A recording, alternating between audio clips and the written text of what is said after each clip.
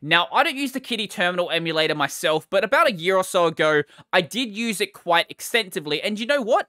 It's a pretty good terminal emulator, and it's got some really cool features added in through some of the kitten modules that makes it actually really cool to use. But nowadays, I'm using Alacritty. But recently, someone told me about a weird bit of drama that happened in the Kitty community that I felt like I should probably talk about. Now, I don't care about the drama itself, this video is by no means timely, I just want to use this drama as an example of two things. Firstly, if you're the maintainer of a project, how not to actually communicate with your user base if you don't really want to annoy them. And secondly, if you're a user or better yet a developer who tries to submit a patch to a project, how not to communicate about that patch if you want something to actually be done about it. So what's being done here is a very simple pull request. It's not an issue that was submitted saying, hey, you should go and fix this. This person went and fixed the problem themselves and then submitted the patch to the project. So inside of Kitty, what actually happens is every 24 hours, it will automatically go and check the server if there is an update and then inform the user if there is actually an update available. Now, this isn't that bad. It's by no means built in telemetry in Kitty. It's just checking an update server if there's an update and then telling you there's an update. But heavy terminal users typically care a lot about privacy and believe that applications they're running shouldn't just go and open up a network request without any input from the user. And this isn't an opt-in feature, this is opt-out. So this person assumed that because it's a terminal, this has to be a bug, that there's no way that this functionality would have been put here on purpose. So they decided to make this patch that would go and fix that problem, and honestly, it, it, seemed like an honest mistake because this is just something that you probably have enabled for testing and then forget to go and revert it back afterwards. So the patcher says, I believe that any kind of opt-out mechanism that connects to a remote resource is an anti-feature.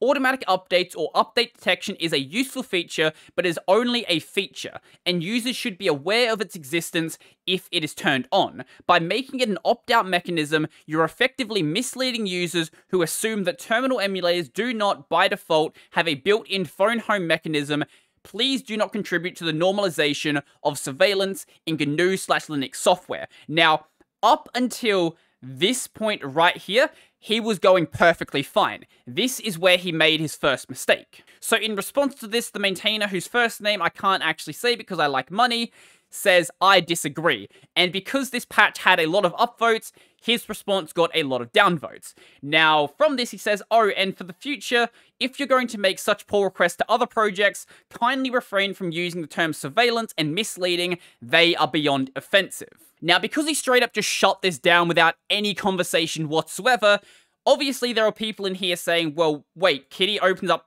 network connections without my knowledge? How are these terms offensive? Like, what are you doing? Why are you trying to shift the focus away from the actual problem? And he finished up by saying, any sort of issues, wonderful. Hey, you aren't doing me a favor by using Kitty. You don't like the fact that it has functionality to notify you of updates that is on by default. Go use something else and stop wasting my time. And next time, spend two minutes to Google the issue before posting duplicates and wasting hard-working maintainers' time.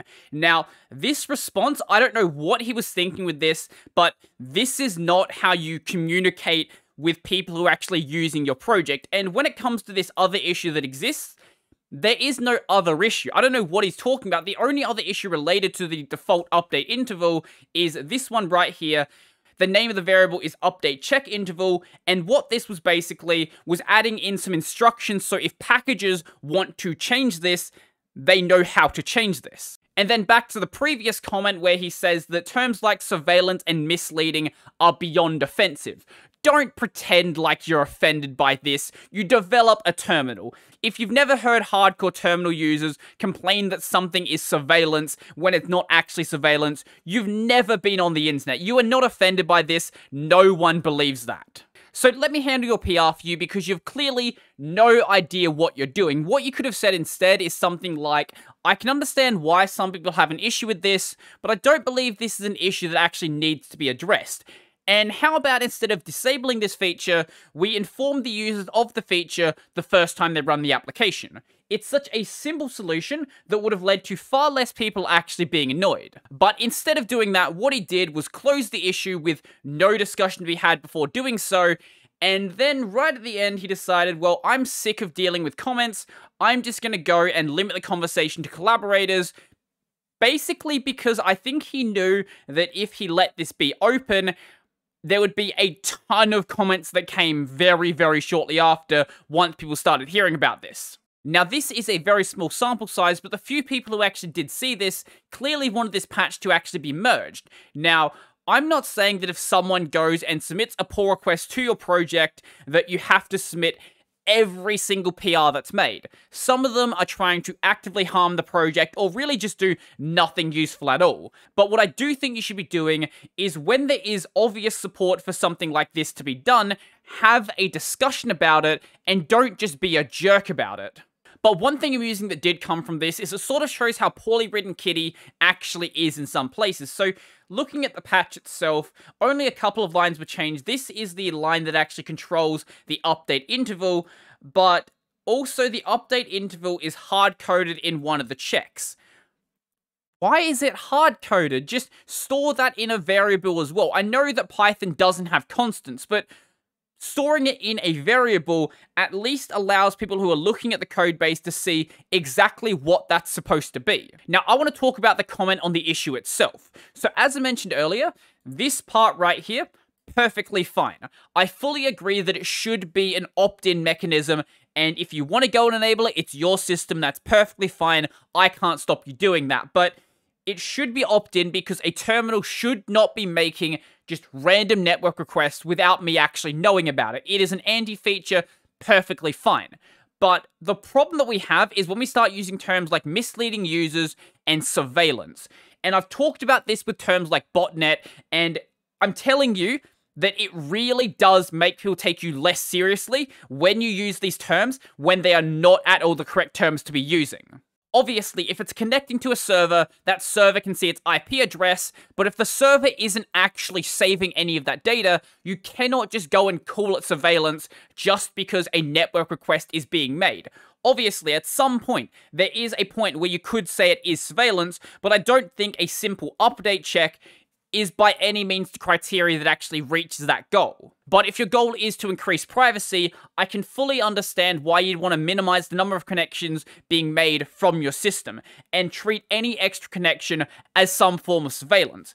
However, when you're communicating with other people who don't share the same mindset, you have to use some sort of common language that you both understand. And calling things like this surveillance doesn't really translate to people who don't share the exact same mindset as you. Especially when terms like misleading users and surveillance have such a negative connotation attached to them and have intent attached to them as well. You're basically saying that the maintainer of Kitty is just intentionally trying to just spy on their users when that's not what's happening. From their perspective, it seems like they're just trying to provide a useful feature and they think that having it enabled by default just makes more sense.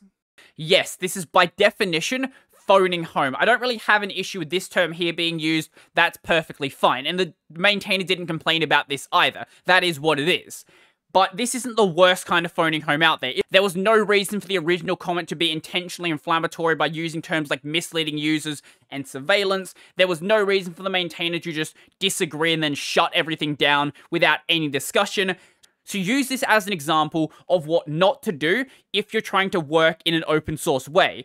Keep in mind that when you are submitting to an open source project that you are actually working with other people. I know usually you're just working through text and you're seeing just an image, but there is actually a person behind that, and if you keep that in mind, things like this probably won't go down anywhere near as much. However, something that is handled well though is Linode. If it runs on Linux, you can run it on Linode. They have the distros you'd expect available like Ubuntu and Debian, but also Arch and Gentoo because why not? They've got multiple server plans available, so whether you want to host a blog or even a personal VPN, there'll be one that fits you. I'll be using Linode to host all of my community game nights. If you need help, Linode has 24-7, 365 support available by phone, regardless of your plan size. Right now, you guys can get started on Linode with $100 credit by going to the link on screen or in the description down below. Linode was in the game three years before Amazon entered cloud computing, so you know they know their stuff. A huge thank you to Linode for sponsoring the channel.